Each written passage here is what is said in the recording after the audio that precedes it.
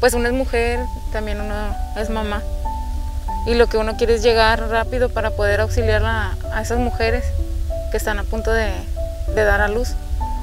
La labor de los policías siempre es asociada a la seguridad y a la protección de los ciudadanos. La primera imagen que se nos viene a la mente cuando pensamos en un policía muchas veces es la patrulla, el uniforme, el arma o las esposas.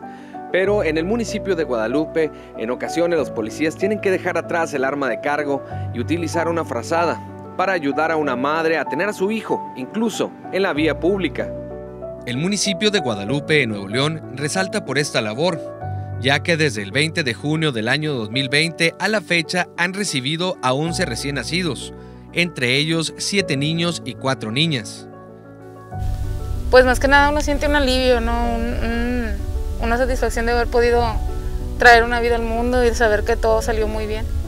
Y, pues de que uno pues, como le digo, uno es mujer y uno también ha pasado por esas situaciones.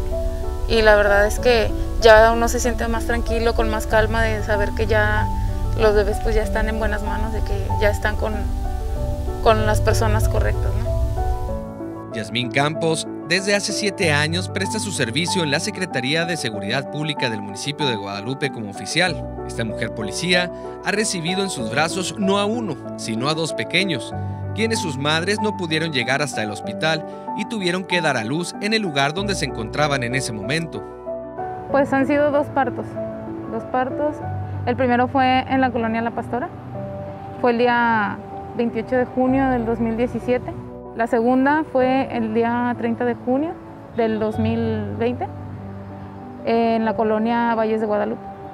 Igual iba en mi recorrido de rutina y se aproxima un vehículo, eh, cual desciende un masculino y me indica que traía a bordo una femenina, la cual ya traía también labores de, dolores de parto. Eh, al momento de auxiliarla, igual, este, la muchacha ya pues ya no pudo más y se hizo lo que fue darle, brindarle los primeros auxilios nace la segunda bebé.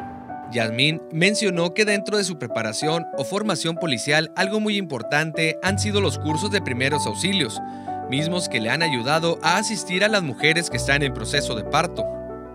Aunque su labor primordial es salir a las calles y combatir el crimen, Yasmín se siente orgullosa de su trabajo.